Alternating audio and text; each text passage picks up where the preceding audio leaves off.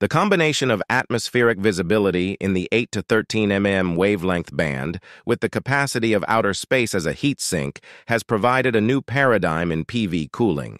The radiative theory requires the use of the difference in temperature between outer space and Earth objects. The radiative function helps to cool down when things face up to the sun. The radiative cooling technique has also been recently studied and implemented to lower photovoltaic temperatures. Zhu et al have been tested for radiative cooling experimentally by solar absorbers. A transparent photonic structure in the wavelength of sunlight range acts as a black body in the thermal wavelength range was conclusively demonstrated. When a photonic structure is placed beneath solar panel, it can radiately cool without influencing the solar absorption. The results indicated that, as a result of radiative cooling, the cell temperature dropped to 13 degrees.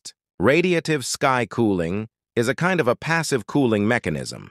It is used by the thermoelectric generator-based system to preserve the cold side several degrees below normal to exploit the temperature difference between Earth and outer space.